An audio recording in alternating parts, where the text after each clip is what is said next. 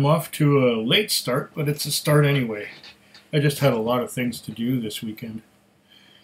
Well, where to start? Right here. I have a Nikka whiskey, Taketsuru pure malt.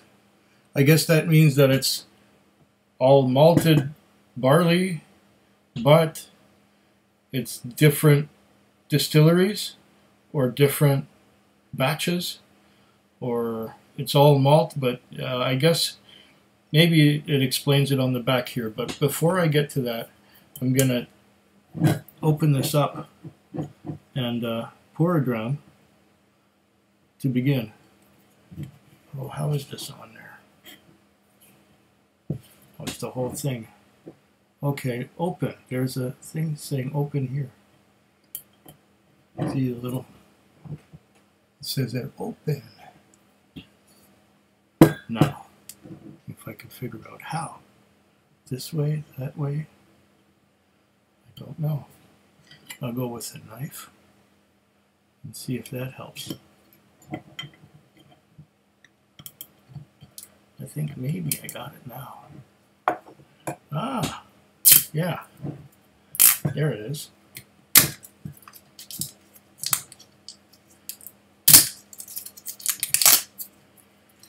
Yeah, got most of it.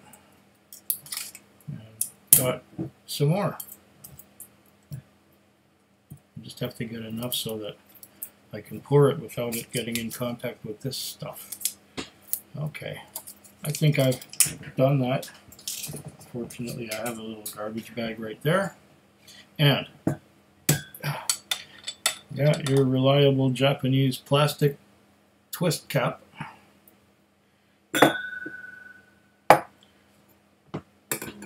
Which arguably seals better than cork and makes for the whiskey to stay better preserved.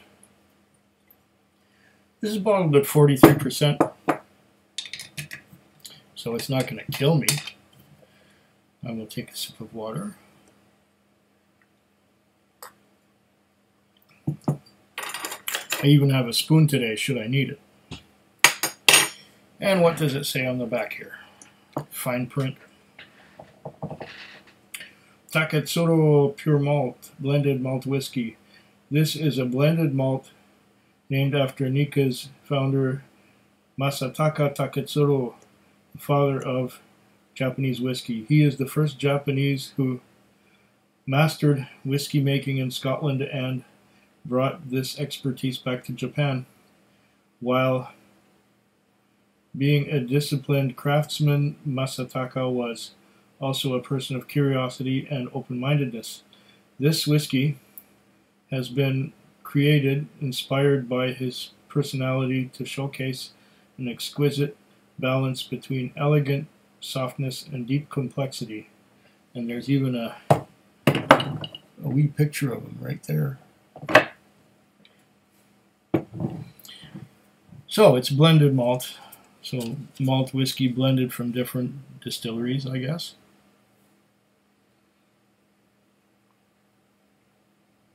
Now, some of it might not be Japanese because this bottle may have been produced before the new rules. I don't know when the new rules are supposed to be implemented, but it's coming up. Pure malt, Nikka, Taketsuru. There's a little seal on here. Uh,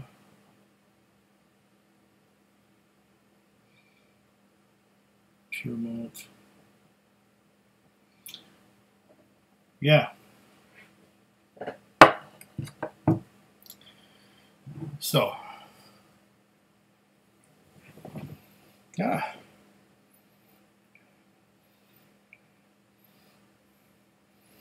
Smells fruity. I'm getting apples, pears, that kind of thing. I'm getting a little bit of cinnamon. Just a hint of cloves.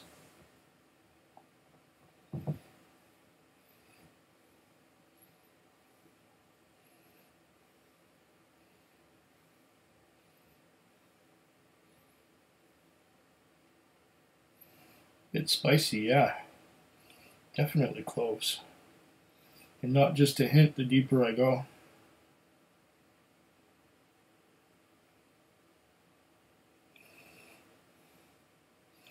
There might even be a bit of peat in this.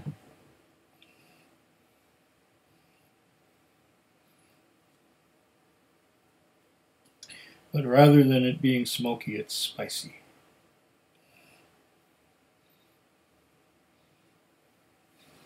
What did this set me back? BC Liquor Store, eighty-seven ninety-nine.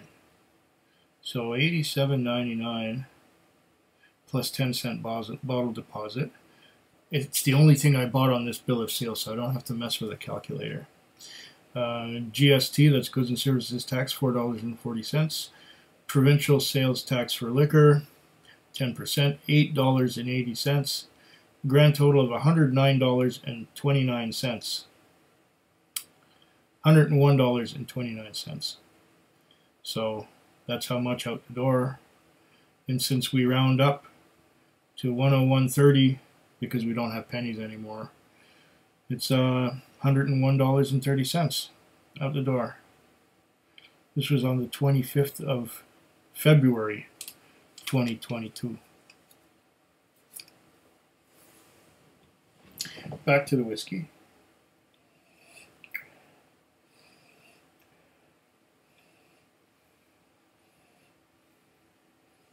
Once again, fruity apples, pears,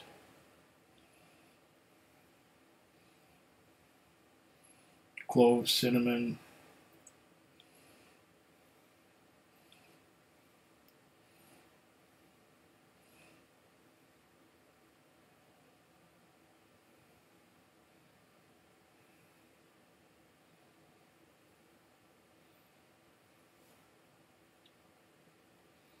getting just a little bit of a mushroom fungus note.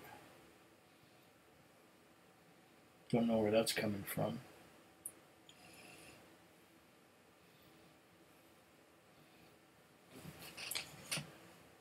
Is me sound turned up all the way? Let's find out.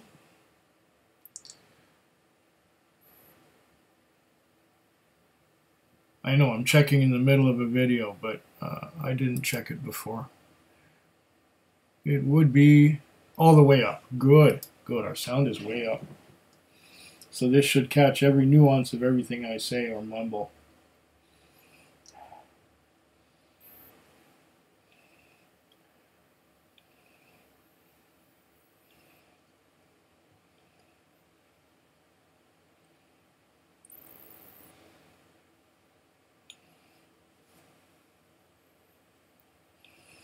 Yeah,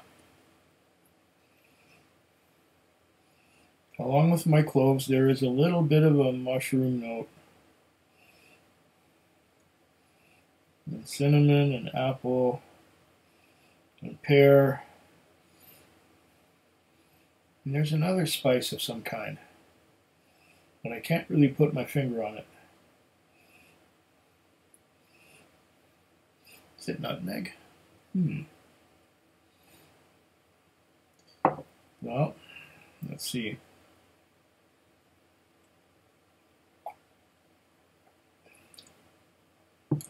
Get a bit of water going down first.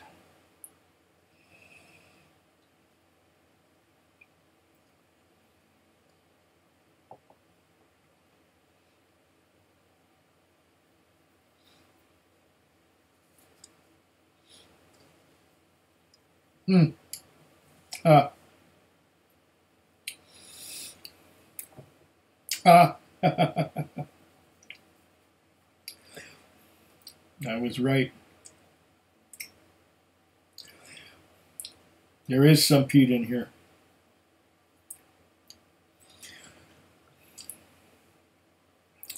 Along with it's spicy. It's definitely spicy. Cloves, cinnamon, nutmeg. Definitely spicy, but on the transition, okay, I, I as soon as I tasted it, as soon as I had it in my mouth, I was getting a, a spiciness. I was getting something a little bit burnt, uh, and and and a little bit like tar. And I'm going, ah, yeah, there is peat in here. This is why I smiled, and this is why I went, aha. There is definitely some um, some peat in here. It's sort of like that that tarry tarry smell of railway. It tastes like the tarry smell of railway ties in the hot sun. mm-hmm. So that's where the complexity comes from. And some of that spiciness is actually the um, the peat, peat smoke. Interesting. Very interesting. That was just to get myself started.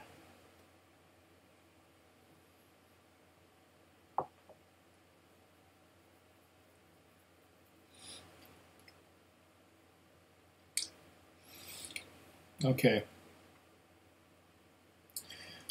Definitely something fruity. Definitely spicy. A little bit of tar in there. Yes, definitely. This is surprising in that for a Japanese whiskey, it's quite bold. And I'm almost certain that it's not all Japanese.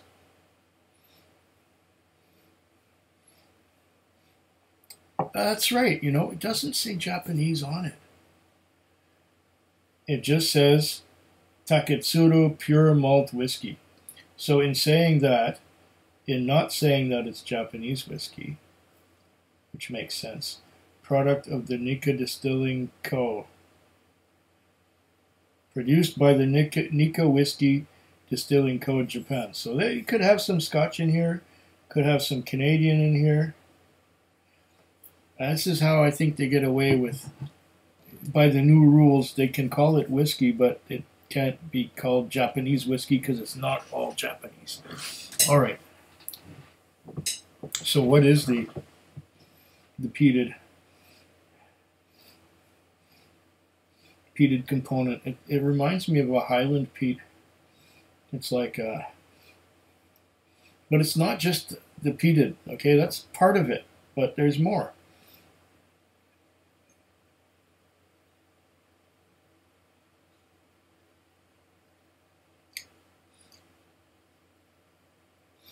There's the fruitiness and spiciness.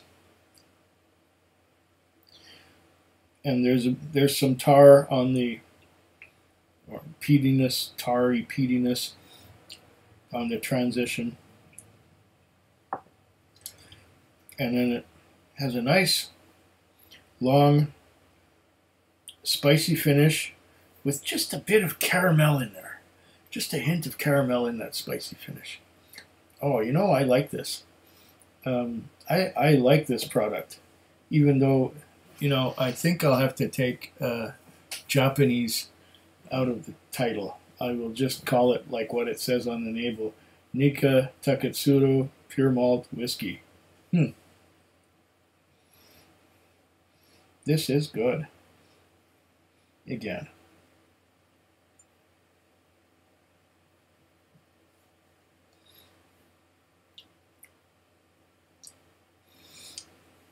Oh, yeah. Now, along with that tarriness, I'm getting a little bit of citrus. It's like a lime citrus. Oh, so it's got orchard fruits on one hand, and it's got citrus on the other hand. It's got the spice. It's got a little bit of tar. It is just beautifully balanced. This is this is really nice. I like this. I like this Nikka Taketsuru pure malt whiskey. Kanpai. Food Quig. Uh, food Quig. Food Quig. Food Quig. Food Quig. Yeah.